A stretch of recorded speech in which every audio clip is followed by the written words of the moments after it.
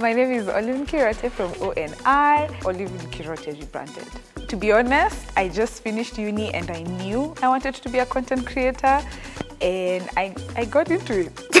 Mine has been an interesting one because I think I knew about it just recently. And I was honestly excited, let me not lie. I was just like rent sorted, expenses sorted, all these things sorted. So for me, it was really, it was really a good thing. It helped me start my year on a high and I like that. Please keep creating content. But the thing with content, doors always open if you keep at it. And also let's create shorts. Personally, I'm now, I'm now sold. If you guys were trying to convince me to create shorts, I'm convinced. Sour.